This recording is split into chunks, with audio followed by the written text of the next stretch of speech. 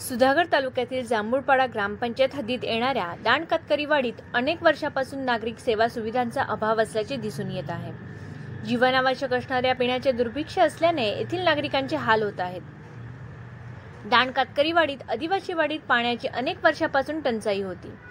ही पाणी टंचाई दूर व्हावी म्हणून राष्ट्रीय ग्रामीण पेयजल योजनेअंतर्गत दोन हजार सोळा ते दोन हजार सतरामध्ये सतरा लाख चोपन्न हजार नऊशे त्र्याहत्तर रुपयांची योजना राबवण्यात आली.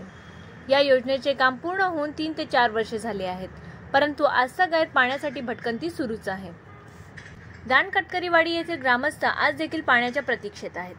दान काटकरीवाडीवर नळ पुरवठा योजना राबूनही गावाची तहान भागत नसल्याने ग्रामस्थांमध्ये तीव्र नाराजी व्यक्त होत आहे. तरी येथील नागरिकांना हंडाभर पाण्यासाठी वणवण भटकंती करावी लागत आहे.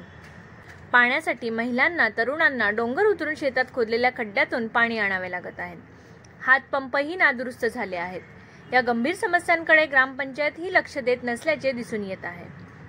बदल किती धावता पंचायतीमध्ये पण काल जाऊन आलो तरी कोण दखलच नाही घेत. आम्ही जिऱ्याचं पाणी हिथनं तिथनं वाकरून पिताव.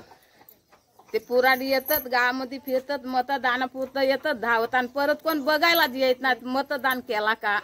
नल योजना आमच्या दानवाडीसाठी दिलेली आहे. आम्हाला एक तर पा पाणी इकडे भेटतच नाही. दुसरी गोष्ट त्या फॉर्ममधून पाणी आण त्या फॉर्ममधून पाणी आण या झाऱ्यावरनं पाणी आण त्या झाऱ्यावरनं पाणी आण. यासाठी आम्हाला धावावं लागतो. रात्री बाया दोन दोन वाजेपर्यंत बोरिंग पाणी भरतात. तरी का सुद्धा त्यांना पाणी भेटत नाही. काल मिटिंगला बसवून घेतला. आपलं बोलवून आणि बाहेर बसवून ठेवला. आणि त्या मिटिंगमध्ये बोलायला सुद्धा नाही भेटत.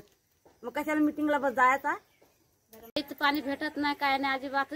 कामाला पण उशीर होतो जायला. चार चार पाच पाच वाजता पाण्याला जर हपकीला पाणी नाही काय नाही डवराव करला तर हे पुढारी येतात ते बघून जातात पाण्याची कोणच सोय करत नाही आमची.